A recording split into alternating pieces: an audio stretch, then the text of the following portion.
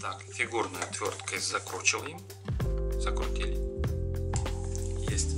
А сейчас подключаем.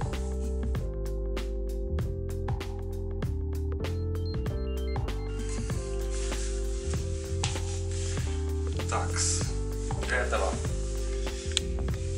берем а, терморегулятор. Вот такой терморегулятор, который будет экономить электроэнергию, включая и выключая панель одну или группу панелей. Этот терморегулятор розеточный рассчитан на 16 ампер, то есть на максимальную мощность панели это 1500 ватт. Ну, а, рекомендуется нагружать не более 3 или даже 2,5-2,7 а, киловатта, вот, чтобы он долго у вас служил и так далее. Так, сейчас мы подключим к розетке.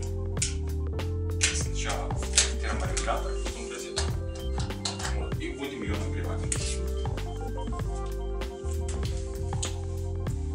В терморегуляторе выставляем желательную температуру. 35. В принципе, нам сейчас максимальная температура подойдет. Нам нужно сейчас нагреть панель и протестировать, за сколько времени она нагреется. Вот этот вот показатель, он имеет свою особенность. Сейчас вам расскажу. Сейчас изначально мы замерим, сколько у нас есть ватт в розетке.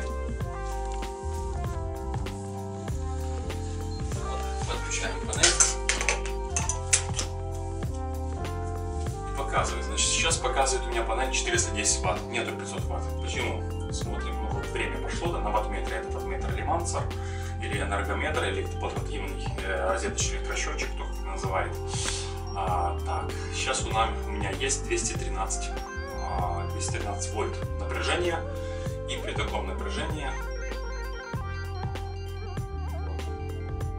у меня показывает 405-410 ватт, что соответственно будет отображаться на а, панели, на температуре поверхности. Сейчас я тестирую, а, значит, а, включаем сколько у нас градусов изначально на температуре поверхности, показывает 28. 28 тыльная сторона. Стена для сравнения 21,7. Это мы снимаем сейчас в квартире. В квартире находится посередине. Пятый этаж девятиэтажки. В квартире сейчас 21,4 градуса. Вот по Цельсию 38% влажности. Это коридор, внутренний, внутренняя комната, то есть, скажем так, все утепление, здесь отопление есть, поэтому поверхность показателя должна быть минимальная, потому что если мы в этом будем тестировать сейчас в холодном помещении, совсем по-другому она будет нагреваться. Степень нагрева в холодном помещении, вернее, вот, э, время нагрева, разогрева панели значительно дольше будет. Так, значит, э, уже мы видим происходит. У нас была тыльная сторона 20 градусов, эта сторона уже показывает у нас 30, 35, 37 местами, 36 градусов.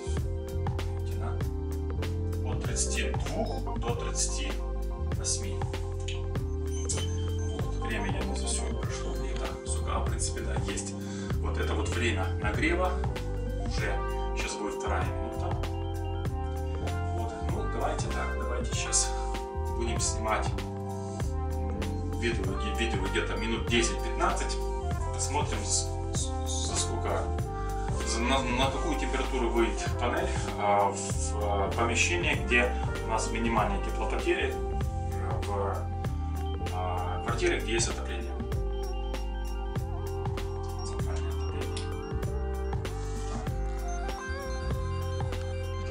Две с половиной минуты у нас есть 38,5. Так,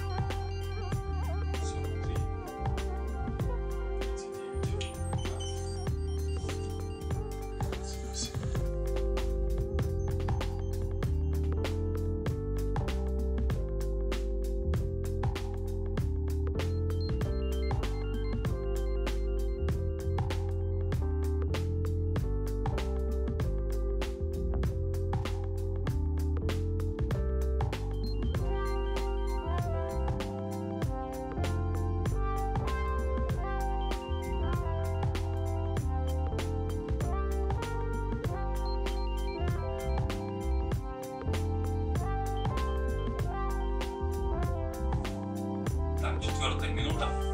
На четвертой минуте у нас панель э, уже разогрелась до 43 48 даже, да. Видите, что местами она показывает разную температуру от 38 до 48, перепад 10 градусов. Вот, э, значит, в том месте, где есть нагревательный элемент, меньше, э, больше показывает.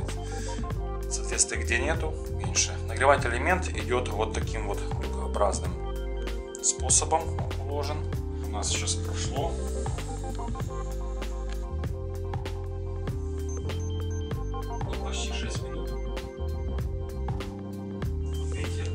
вольтаж упал, кстати.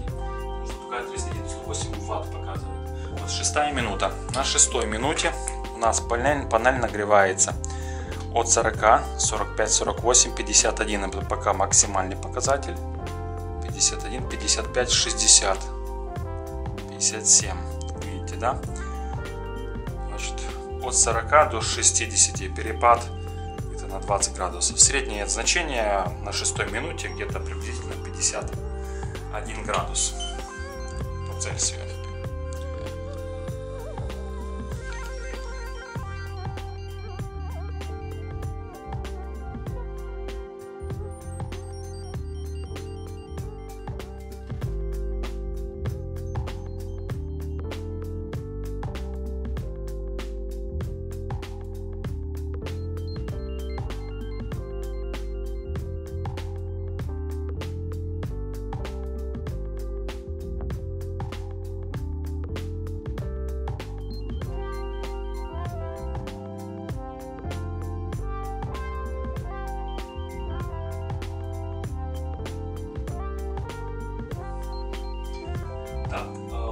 Прошло уже 8 минут.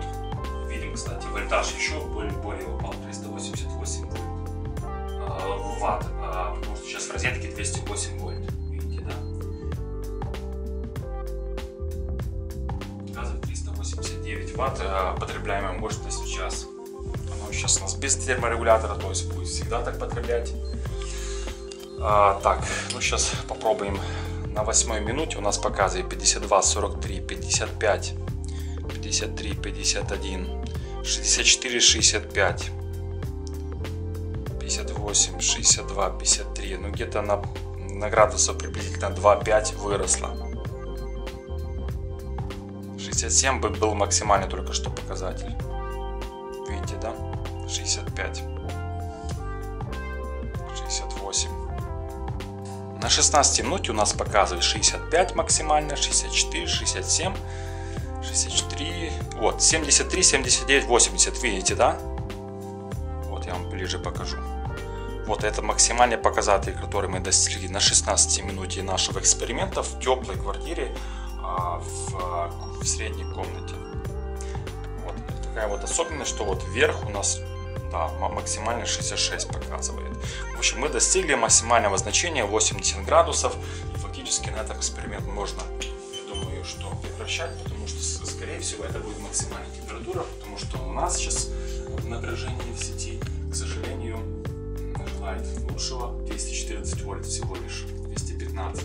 И при 215 вольт у нас а, потребляемая мощность 411 ватт, то есть не дотягивает до 500.